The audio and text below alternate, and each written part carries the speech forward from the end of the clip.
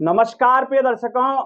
मैं आचार्य आशीष हेमल आपके channel astro कालगणना में आपका बहुत बहुत स्वागत करता हूँ। प्रिय दर्शकों, आज मैं आपको बताने जा रहा हूँ तुला राशि का राशिफल मंगल ग्रह के गोचर के प्रभाव के ऊपर। मंगल ग्रह तुला राशि वालों के ऊपर क्या असर डालने वाला है?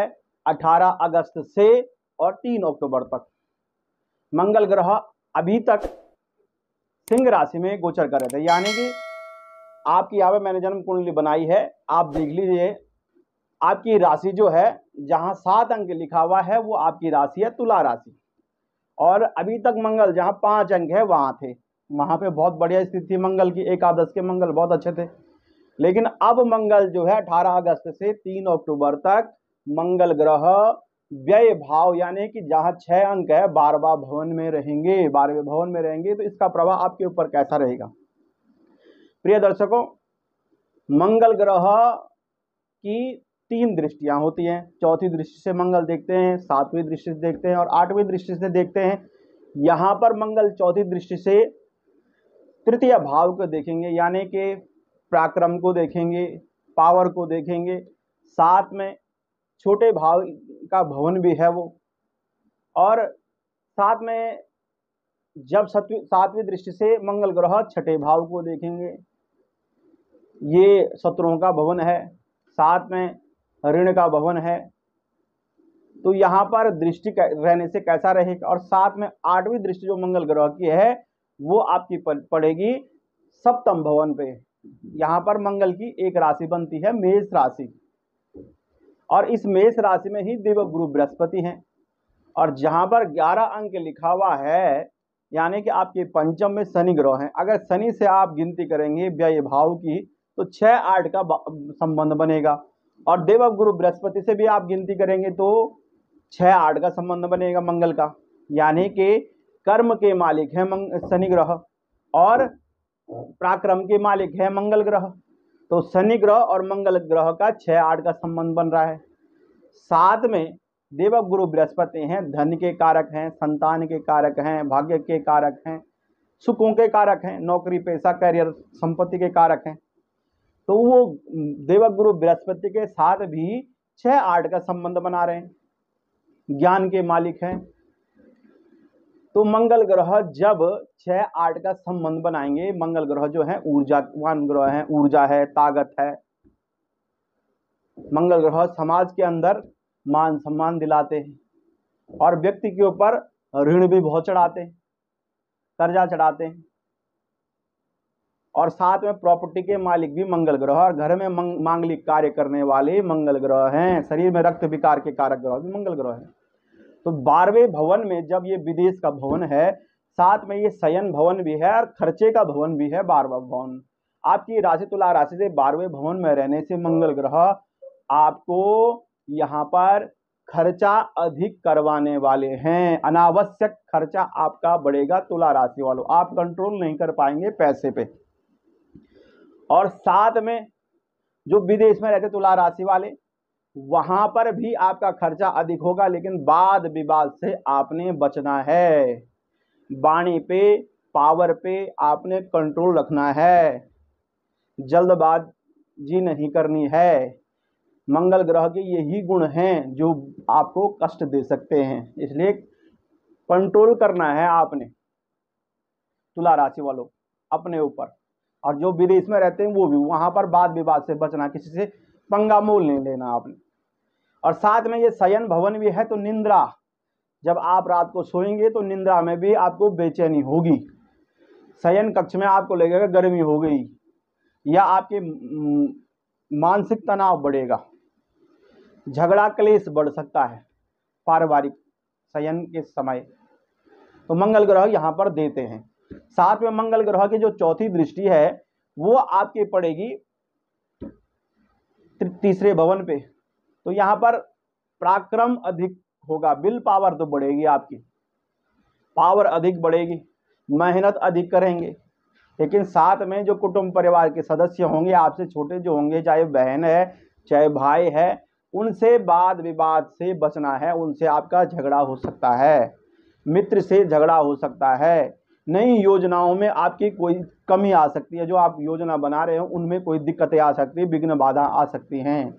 कोई आपका पार्टनर आपका सहयोगी आपके कामों में अड़चन पैदा कर सकता है, जो आपसे छोटा है। तो ये योग भी आपका बनता है। और प्रॉपर्टी संबंध में, भूमि भवन संबंध में आपने थोड़ा सोच समझ करके ही इस इस गोचर में खरीदना है। कोई भी जल्दबाज से आपने कोई चीज़ नहीं खरीदना है। अगर आप प्रॉपर्टी खरीदते हैं, कोई नया मकान खरीदते हैं तो अगर आप सही तरह से जानकारी नहीं लेंगे उसकी तो आपका पैसा डूब सकता है। इसलिए सोच समझ करके विचार से आपने लेना और साथ में गाड़ी जो आप चलाते हैं या गाड़ी लेना चाहते हैं तो सोच समझ करके ही वाहन चलाएँ। स्पीड में, ओवर स्पीड आप गाड़ी न चलाएँ। ध्यानपूर्वक आप गाड़ी को चलाएँगे तो आपके लिए लाभप्रद रक्त विकार समस्याएँ भी आपको हो सकती हैं। मांसपेशियों की दिक्कत आपको हो सकती है और बीपी की समस्या आपको हो सकती है। पायल्स के रोग आपको परेशान कर सकते हैं, दांतों के रोग आपको परेशान कर सकते हैं। ये ये योग यहाँ पर बन रहा है और निंद्रा में भी परेशानी आपको हो सकती है, अनिद्रा के शिकार आप हो सकते हैं। धन के मामले में धन संपदा भी आपके पास आएगी, मंगल ग्रह देंगे, लेकिन खर्चा अधिक होने के योग बनते हैं। मंगल की जो एक राशि है, वो बनती है आपके सातवें भवन में और सातवें भवन पर दृष्टि पड़ने से यहाँ पर जो पार्टनरशिप के काम होंगे, वो काम आप सोच समझ के करें। विचार करके आपके करें। बनेंगे आपके काम, लेकिन जल्दबाजी बिल्कुल ना करें किसी भी काम में। विचार करके आप निर्णय लें। और दाम्पत्य जीवन में थोड़ा हल्की फुल्की मतभेद होने की समस्या बनेगी। यहाँ पर दृष्टि पड़ने से यहाँ पर राहु भी बैठे हुए हैं। साथ में देव गुरु बृहस्पति आपकी समस्याओं का हल करेंगे। ऐसे नहीं है कि बहुत बड़ी समस्याएँ आएगी। लेकिन आपने मंगल जो है, कहीं भी जब अच्छे भाव में नहीं बैठते मंगल को, ये जो है कन्या राशि है। कन्या राशि मंगल की शत्रु राशि है। जब भी कोई व्यक्ति अगर अपने शत्रु के घर में चला जाएगा, वहाँ पर क्या समस्याएँ होगी? झगड़ा होगा। और जहाँ वो देखेंगे, वहाँ पर भी कुछ ना कुछ होगा। लेकिन यहाँ पर इनका अपना घर है, सातवां घर। तो आप काम भी आपका चलेगा, व्यापार जो पार्टनरशिप पर जो काम करते होंगे, वो भी चलेगा आपका। दाम्पत्य जीवन में भी जो मतभेद होंगे वो मतभेद आप कम कर सकते हैं अपनी वाणी के द्वारा। ठीक है? और साथ में रोज़गार कैरियर के लिए भी बढ़िया है। जब बिल पावर बढ़ेगी, थोड़ा भाग्य का साथ भी आपको मिलता रहेगा। मंगल ग्रह, इतनी मुसीबत आपको नहीं देंगे। और साथ में जो भी आपके कोल्ड कचहरी के मामले हैं, वो थोड़ा फंस सकते हैं। कोल्ड कचेरी मामलों में थोड़ा मुसीबतें आपको मंगल ग्रह दे सकते हैं। और यहाँ पर कर्जा किसी को नहीं देना आपने। बिल्कुल भी पैसा नहीं देना, पैसा कहीं फंसाना नहीं है आपको। जब भी मंगल ग्रह छठे भाव को देखते हैं तो यहाँ पर कर्जा किसी को नहीं देना, किसी बात विवाद से बचना है और विल पावर ताकत आपकी बहुत ज़्यादा रहेगी। मित्र सहयोगी भी आपका साथ देंगे, लेकिन जो आप व्यापार की रणनीति जो होंगी, वो बिल्कुल भी आपने किसी के साथ नहीं बतानी है। शेयर शेयर बिल्कुल नहीं करें। जब तक आपके काम पूरे ना हो जाएँ, तब तक आपने अपनी बातों को बिल्कुल भी नहीं बताना है। अगर आप अपने मित्र से बताएँगे तो कहीं ना कहीं नज़रवादा का योग भी बनता है। संतान संबंधों में जो विद्यार्थी पठन पाठन के लिए पठन पाठन करते हैं, क्योंकि यहाँ पर मंगल के जो दूसरी राशि है, वो बनती है कुटुंब भाव में। तो कुटुंब भाव में मतभेद की स्थितियाँ भी आएँगी कि मंगल का जब योग नहीं है मंगल बारहवें चले गए और साथ में दाम्पत्य जीवन के मालिक भी बारहवें चले गए। तो इन कुटुंब परिवार में धन संपदा में खर्चे के योग बने हैं और कुटुंब परिवार की आपके ऊपर ज़िम्मेदारी, लोड आपके ऊपर रहेगा। ये योग बनेगा। विद्यार्थियों के लिए पठन पाठन की ऊर्जा रहेगी, लेकिन चिड़चिड़ापन आपको परेशान करेगा। भाग्य का साथ मिलेगा, नौकरियों में चेंजिंग बिल्कुल ना करें। व्यापार में इस दौरान आप बिल्कुल भी चेंजिंग ना करें, जो चल रहा है चलने दें। तो प्रिय दर्शकों, मैंने बताया आपको मंगल ग्रह के बारे में कि मंगल ग्रह 18 अगस्त से 3 अक्टूबर तक आपके लिए कैसा रहेगा। मंगल ग्रह के लिए आप विशेष पूजा कराएँ, क्योंकि आपकी राशि से बारहवें हैं मंगल ग्रह। मंगल बारवा होना अच्छा नहीं होता है। यहाँ पर मंगल ग्रह के लिए आप मंगल के जप भी करा सकते हैं घर में, ब्राह्मण के द्वारा।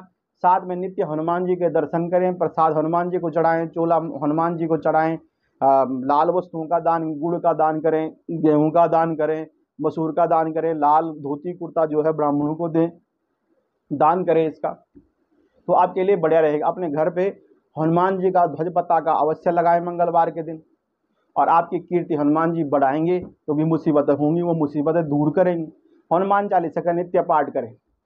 सुंदरकांड का पाठ कर सकेंगे तो मंगलवार के दिन आप उसका पाठ करेंगे तो लाभप्रद रहेगा। प्रिय दर्शकों, अभी के लिए मुझे अनुमति दीजिए। नमस्कार। जय माता दी।